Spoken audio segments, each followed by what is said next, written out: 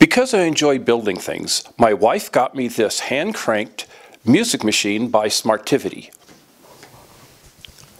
It was great. The laser cut pieces came apart very nicely.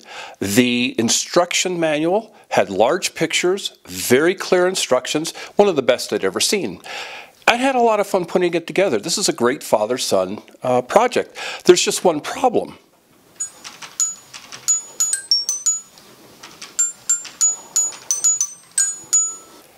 And that problem you can hear is that it doesn't strike all the notes. Now that's supposed to be jingle bells. What's happening is that the end of these arms are triggered by these pins. And if there are two or more pins in a row, the first pin lifts the arm, but before the arm can fall and make a note, the second pin catches it. The first thing I tried to solve this problem was I thought that maybe there was too much drag between the armatures and the little guides here. So I took the machine apart, sanded it all down, took all the sharp edges off, and then coated it with some dry Teflon lubricant. That didn't help. The next thing I did was add a small binder clip to the end of each armature, thinking that the extra weight would help these fall fast enough so that all the notes would be played. It helped a little, but not much.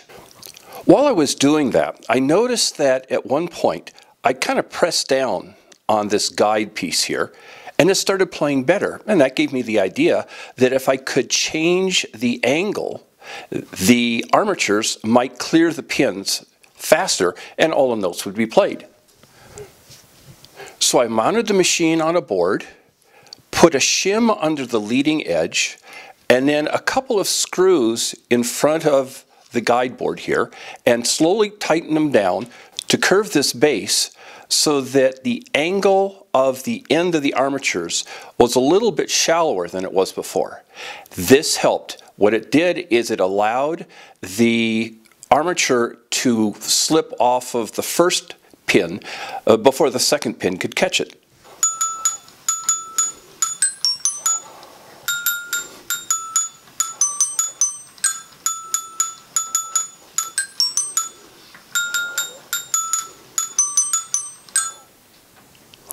Now you can avoid all of this by turning the crank very, very slowly so that the armatures have time to get off all the pins. The trouble is this was made for children and children don't like to go slow. So if you have one of these and you're not happy with it not hitting all the notes, try these modifications and I think you'll find it helps. Thanks for watching.